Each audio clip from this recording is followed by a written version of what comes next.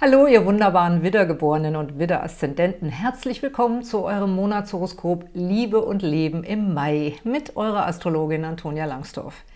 Liebesgöttin Venus versorgt euch mit guter Laune und Flirtstimmung. Euer Herrscher Mars steht allerdings zeitweise unter Druck und das kann euch gereizt machen. Versucht, beruflichen Stress nicht in eure privaten Beziehungen hineinzutragen. Es gibt noch viele weitere spannende Aspekte für euch und wenn ihr das Bedürfnis habt, klarer durchzublicken und euch zu sortieren, bin ich gern für eine astrologische Beratung für euch da. Alle Infos dazu verlinke ich hier auf der Infokarte und unten in der Videobeschreibung. In meiner Verlosung könnt ihr diesmal eine Chiron-Beratung gewinnen. Das ist für euch besonders spannend, weil Chiron ja für die nächsten Jahre durch euer Zeichen laufen wird.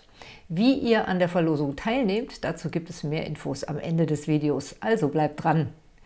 Jetzt schauen wir in eure Sterne für den Monat Mai. Alle Informationen über euren Erlebnishintergrund, also die Tendenzen, die das ganze Jahr über gelten, die findet ihr in meinem Jahreshoroskop als Video oder auch als Buch. Bitte informiert euch da gegebenenfalls nochmal.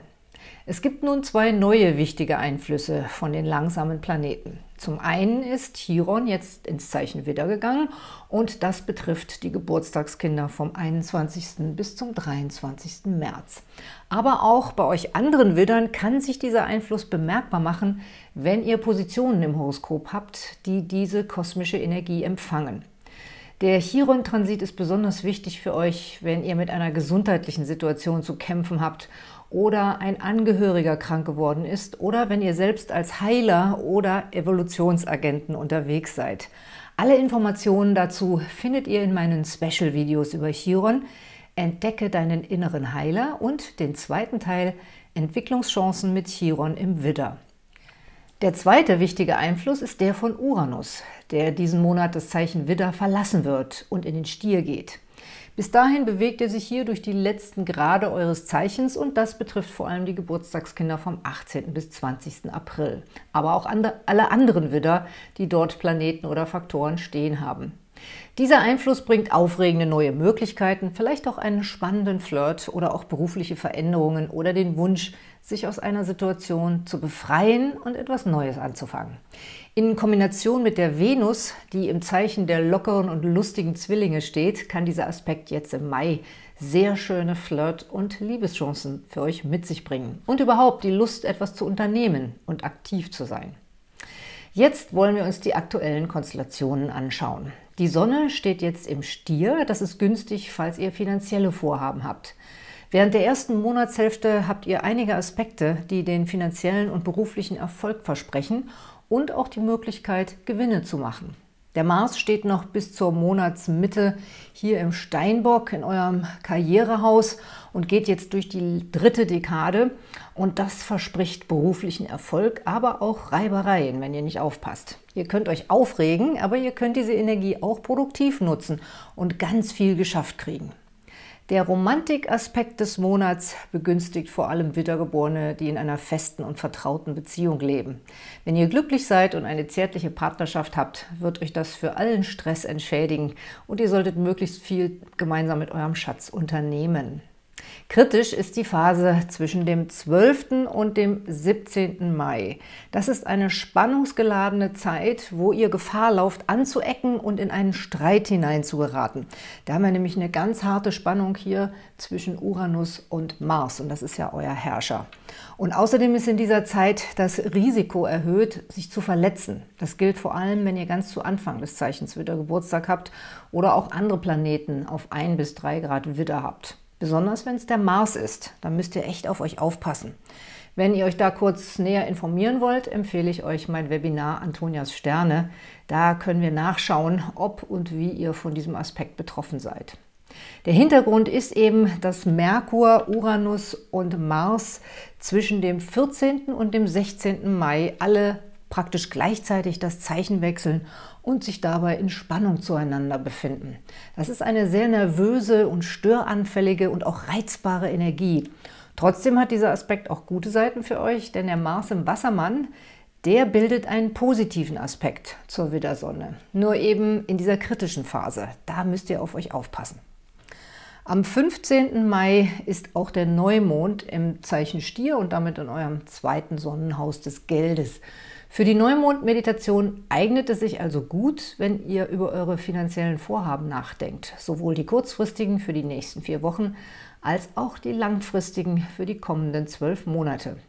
An dem Tag wechselt eben auch Uranus erstmals vom Widder in den Stier und verlässt euer Zeichen. Die Wiedergeborenen, die ganz zum Schluss der dritten Dekade Geburtstag haben, werden aber seinen Einfluss als Wunsch zur Erneuerung und Befreiung noch weiterhin spüren, denn er wird nochmal rückläufig im November und geht erst im März 2019 dann endgültig ins Zeichen Stier. Und mit dieser neuen Energie werde ich mich ausführlich in meinem Special über Uranus im Stier beschäftigen, das Mitte Mai online gehen wird. Am 16. Mai geht dann der Mars in den Wassermann und das ist trotz anfänglicher Spannungen insgesamt günstig für die Wiedergeborenen. Ab dem 18. Mai und bis zum Monatsende bildet der Mars mehrere günstige Aspekte zu den anderen Planeten und das merkt ihr daran, dass ihr schwungvoll und dennoch in Harmonie mit euren Mitmenschen vorankommen werdet. Am 19. Mai wechselt die Venus das Zeichen und geht bis Mitte Juni durch den Krebs. Das ist eine schöne Zeit für Familienaktivitäten. Vielleicht bekommt ihr dann auch Lust auf einen zünftigen Frühjahrsputz. Und wenn das Wetter schön ist, seid ihr bestimmt die Ersten, die zu einem Grillfest zu sich nach Hause einladen. Wichtig ist nur, dass ihr nicht träge werdet, sondern selbst mit anpackt. Aber da mache ich mir keine Sorgen, denn der Mars verleiht euch ja genug Schwung, um die Initiative zu ergreifen. Am 21. Mai um 4.14 Uhr morgens geht dieses Jahr die Sonne ins Zeichen Zwillinge und aktiviert dann für die nächsten vier Wochen den Kommunikationsbereich eures Horoskops.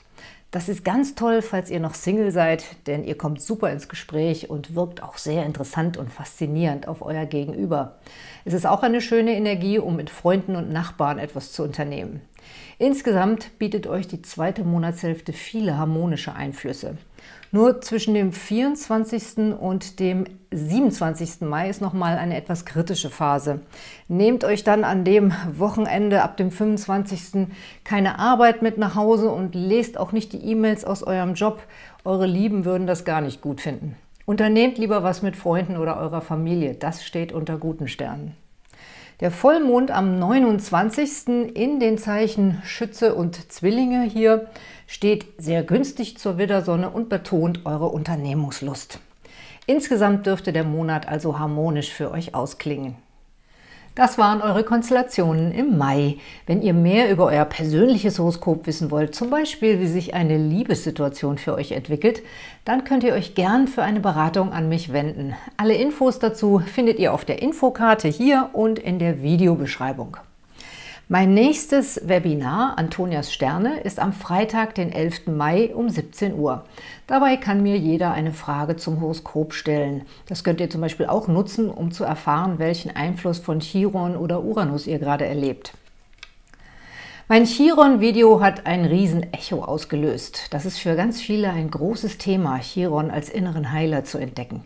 Deshalb biete ich euch einen neuen zweiteiligen Workshop an mit dem Titel Entwicklungschancen mit Chiron im Widder. Und zwar am Donnerstag, den 17. Mai um 18.30 Uhr und am Freitag, den 18. Mai um 17 Uhr. Und dazu gibt es auch ein Geschenk. Mehr darüber erfahrt ihr im zweiten Teil meines Chiron-Specials. In meiner Verlosung gibt es diesmal eine Chiron-Beratung bei mir zu gewinnen. Darin erfahrt ihr alles darüber, wie ihr mit Chiron zur Heilung und Persönlichkeitsentwicklung finden könnt. Und so nehmt ihr an der Verlosung teil. Postet mir hier einen netten Kommentar und abonniert meinen Kanal. Und ich freue mich auch riesig, wenn ihr meine Videos teilt, sodass sich auch eure Freunde über die Botschaften der Sterne informieren können. Also einfach hier klicken und abonnieren, dann seid ihr bei der Verlosung dabei. Schaut euch jetzt auch den zweiten Teil meines Specials über Chiron an, Entwicklungschancen mit Chiron im Widder. Und falls ihr sie noch nicht gesehen habt, empfehle ich euch auch meine Specials über Saturn und Lilith im Steinbock. Ich wünsche euch alles Gute mit den Sternen.